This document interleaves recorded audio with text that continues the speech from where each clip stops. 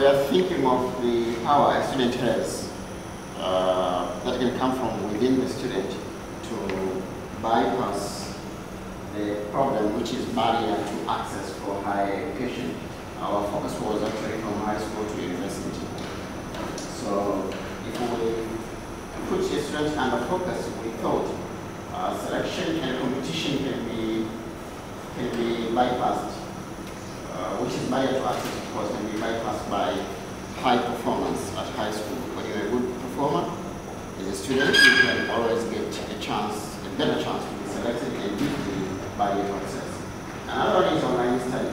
We have options. University of Dar has online programs, so you can register instead of fighting to to, to, to, to start your studies at the campus, you can go into that option and bypass because the competition is minimum. Uh, student sponsorship website, we thought at the high school level, students must be, must be, uh, show interest and register their, their, their talents and talents and profiles so that the donors or sponsors can choose to work with those students. We have similar programs uh, under CSR, but they don't uh, exploit resources like web resource where students can register their profiles, projects, and talents so that more donors will get more interest to So that also means uh, Sponsorship. personal private donors, donors in public. private. The Yeah. idea, the idea being that if you, to generate a culture of having young people starting to do uh, volunteer and innovative things earlier. So when I go to shop, uh, you know, for a student to sponsor, I- I'm looking at somebody that's been building up to that moment. And then eventually maybe more young people will start to do more things at a younger age, which will mean more people will want to sponsor them.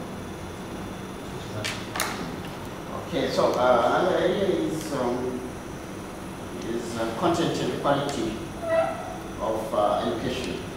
But sometimes we uh, need to, was it to look at the, at the, uh, the content and quality can be barrier, sorry, can be barrier to access higher education because I may not get what I want uh, from the University of Dar es Salaam, University of Dodoma. I could only get it from the University of Wit- Wits in South Africa. So uh, what you can do is to explore more options in the contents and, and where you can get them and meet the barrier issue without considering, of course, other factors like financing.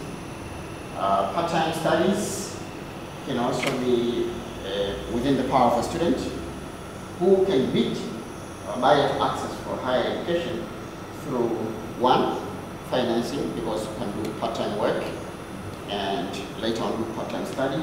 Also save uh, for competition for full-time uh, programs which are normally uh, more competitive than part-time studies in the local market.